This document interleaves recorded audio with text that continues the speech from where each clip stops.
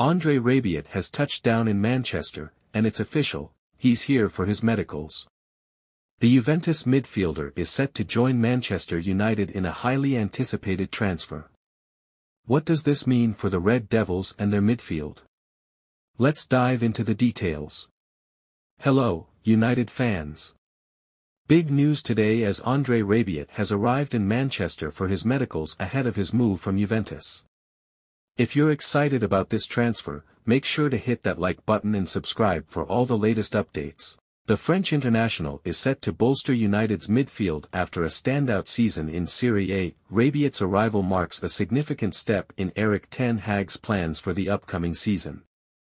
Known for his versatility and physical presence, Rabiot could be the key to adding depth and creativity to United's squad.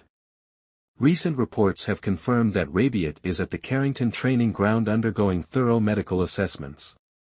This move follows a successful negotiation between Manchester United and Juventus, with Rabiot expected to sign a multi-year contract once the medical is completed. Stay tuned as we'll be bringing you more updates on this transfer and other Manchester United news. What are your thoughts on Rabiot's move? Drop a comment below and let us know. Don't forget to subscribe and hit the notification bell to stay updated on all things Manchester United. Thanks for watching. Check out our other videos and join the discussion in the comments. See you next time.